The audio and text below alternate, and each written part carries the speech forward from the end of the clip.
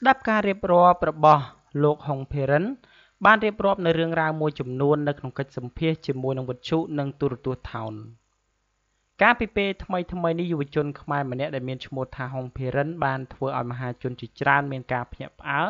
និងមានមោទកភាពយ៉ាងខ្លាំងក្រោយពេលរូបគេបានចូលរួមបង្ហាញសមត្ថភាពពិសេសដែលធ្វើតេស្តសមត្ថភាពជាការចងចាំ នៅក្នុងកម្មវិធីប្រឡងសមត្ថភាពរបស់ទូរទស្សន៍ថៃ ហើយក្រោយពេលឆ្លងកាត់3វិញ្ញាសាដោយជោគជ័យរូបគេទទួលបានរង្វាន់តាមការស្នើសុំនោះ គឺមានសិភៅ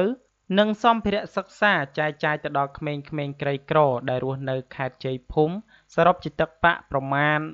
45000បាត លើសពីនេះខាងកម្មវិធី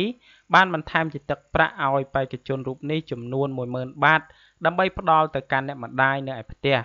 ហើយគេទទួលបាននូវការកោតសរសើរពីប្រជាជនថៃ លើសពីសមត្ថភាពចងចាំដ៏ពិសេសអស្ចារ្យគឺការចាំប្រតិទិនរហូតដល់700ឆ្នាំ និងសមត្ថភាពចងចាំរូបភាពយ៉ាងអស្ចារ្យមិនគួរឲ្យជឿហើយត្រូវបានគេដាក់រហស្សនាមឲ្យយុវជនរូបនោះថាអច្ឆរិយៈកម្ពុជាថែមទៀតផងដោយឡែកនៅមុននេះបន្តិចគណនី Facebook មួយដែលមានឈ្មោះថា Willy Sam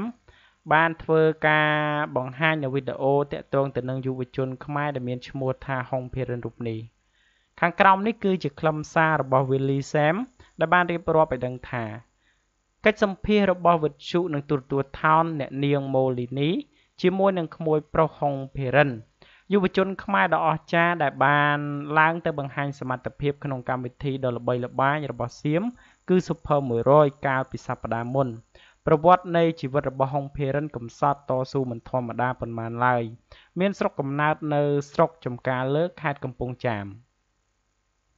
នៅក្នុងកិច្ចសម្ភាសជាមួយនឹងបពិធីការនីរបស់ស្ថានីយ៍ទូរទស្សន៍និងវិទ្យុថោន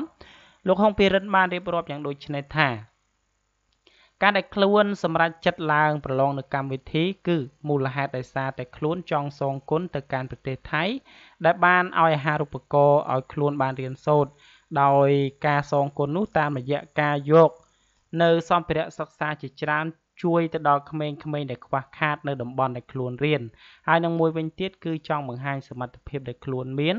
ឲ្យពិភពលោកបានដឹងថាប្រជាជនកម្ពុជាក៏មានសមត្ថភាពខ្លាំងផងដែរ។